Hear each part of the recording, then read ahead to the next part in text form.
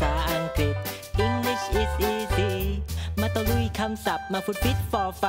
มาเร็วๆมาเร็วๆมาเร็วๆมาดูกัน เรามาดูภาษาอังกฤษ English is easy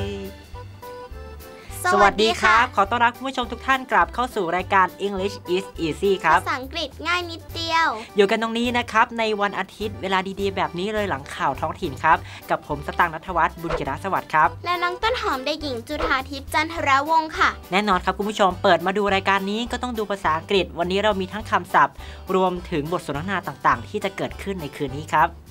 ใช่แล้วค่ะ ถ้าพร้อมแล้วไปชมกันเลยกับช่วงตะลุยคำศัพท์ ช่วงตะลุยคำศัพท์ ช่วงนี้เรามาเรียนรู้คำศัพท์ที่จะใช้สนทนาในวันนี้กันค่ะ เริ่มจากคำแรกนะคะ older o l d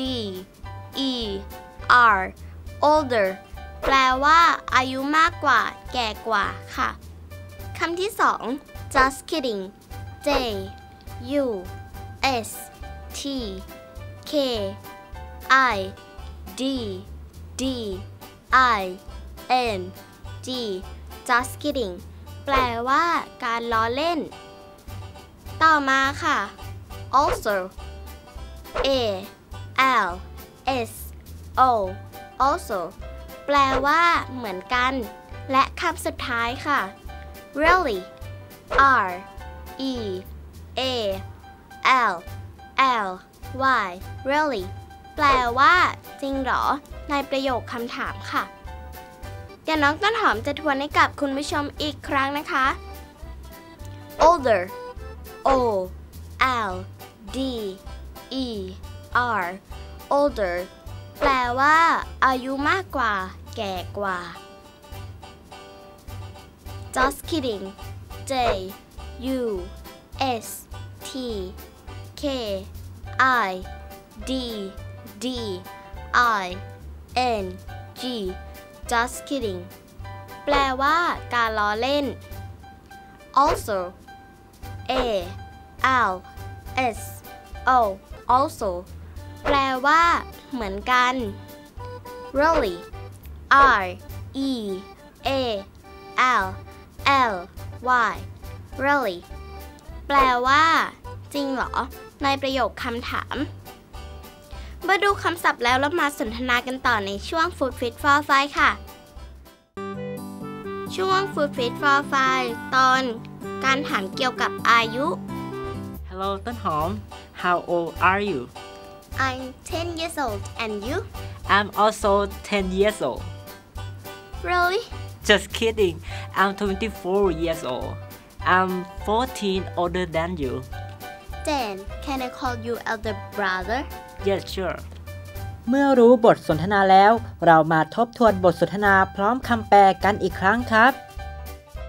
Hello ต้นหอม How old are you สวัสดีครับน้องต้นหอม น้องอายุเท่าไหร่เหรอครับ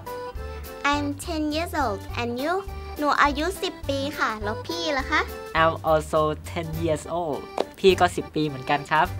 really จริงเหรอคะ Just kidding I'm 24 years old I'm 14 years older than you พี่เนี่ยอายุ 24 ปีแล้วครับ พี่แก่กว่าน้องต้นหอมตั้ง 14 ปีครับ then can I call you elder brother งั้นหนูขอเรียกพี่ว่าพี่ชายนะคะ Yes sure แน่นอนครับได้ครับ เมื่อรู้คำแปลแล้ว เรามาทบทวนบทสนทนากันอีกครั้งครับ Hello ต้นหอม How old are you I'm 10 years old and you I'm also 10 years old. Really? Just kidding. I'm 24 years old. I'm 14 older than you. Then can I call you elder brother? Yes sure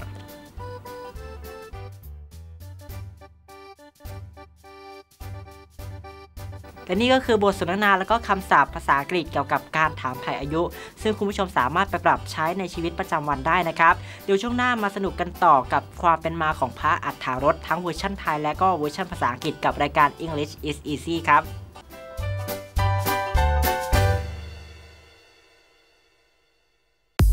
สมาชิก MSH HD ฟังทางนี้ เปลี่ยนจากระบบอนาล็อกวันนี้เป็นกล่องดิจิตอล HD เพื่อสิ่งที่ดีกว่า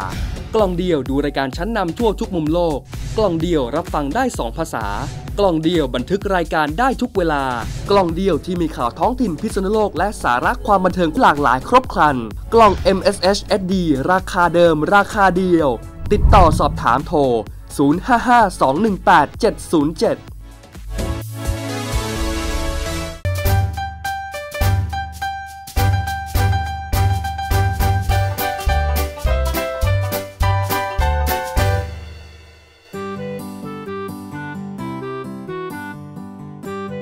อต้อนรับคุณผู้ชมกลับเข้าสู่ช่วงที่ 2 ของรายการ English is Easy ภาษาอังกฤษง่ายนิดเดียวค่ะ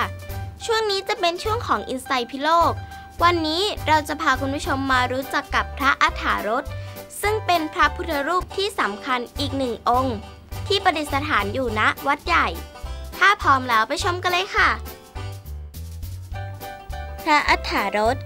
ข้างหลังวัดจะมีพระอัฏฐารสหรือพยืน ซึ่งเป็นการแสดงท่าทางในรูปแบบปรางห้ามญาติ และพระอัฏฐารสสูงประมาณ 10 เมตร แต่ก่อนเคยเป็นวัดที่ใหญ่มาก มีวิหารประมาณ 9 ห้อง แต่ได้ถูกพม่ารุกราน ปัจจุบันจึงเหลือเพียงแค่เสาประมาณ 3-4 ต้น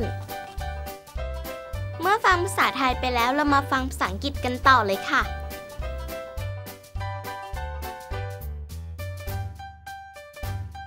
พระอัฏฐารส Behind the temple is an image of the Buddha standing. This posture tells the people don't argue. This Buddha is about 10 meters height. It was in a big temple before, but the temple was destroyed and have only three of Vola columns are left. Long time ago, it had nine rooms, but Myanmar destroyed, so it left only a little. แล้ววันนี้เราก็ได้ทำความรู้จักกับพระอัฏฐารสกันไปเรียบร้อยแล้วนะคะ สัปดาห์หน้าช่วงของ i n s i ซ e พิโลกจะมีอะไรมาฝากคุณผู้ชมอีก อย่าพลาดนะคะ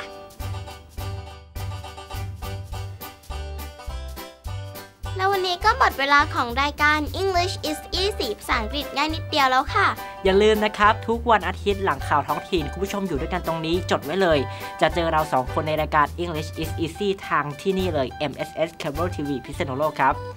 และอีกหนึ่งช่องทางการรับชม คุณผู้ชมสามารถไปที่ YouTube เลือก Channel MSS Cable พิษณุโลก เพียงเท่านี้คุณผู้ชมก็สามารถรับชมรายการของเราย้อนหลังได้แล้วค่ะ และเราก็หมดเวลาแล้วนะครับสำหรับวันนี้เจอกันใหม่ในสัปดาห์หน้ากับรายการ English is Easy ลาไปก่อนครับ ขอกล่าวคำว่า